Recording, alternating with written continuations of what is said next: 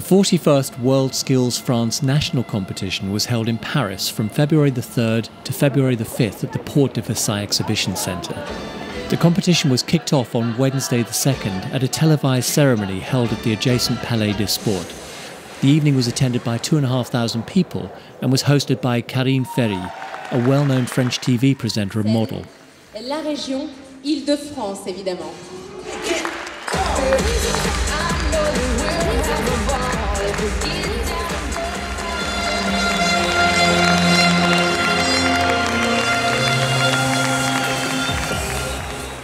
Like a cross between a trade fair and a large scale sporting competition, young apprentices competed in 48 different skills everything from bricklaying to vehicle maintenance, plumbing to precision engineering.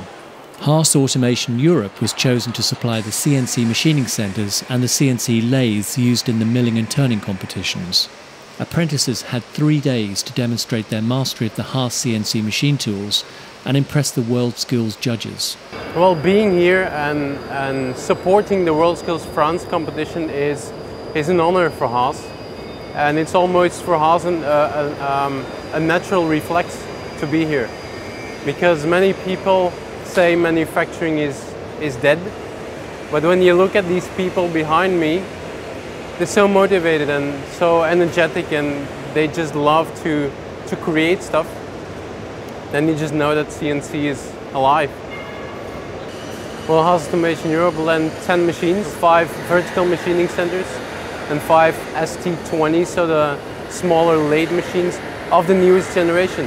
And these are the real industry machines, so those students here competing will see them back in the, in the industry when they start their career basically. It's a real great pleasure to be here for Haas today and to participate in the France Skills for the first time that they're put together. It's for us the perfect platform to uh, show all our collaboration with schools. Especially in these years where, you know, through the crisis, uh, budgets became tighter and tighter. We can even see a few schools that have to close down their uh, education facilities, especially for the technical education.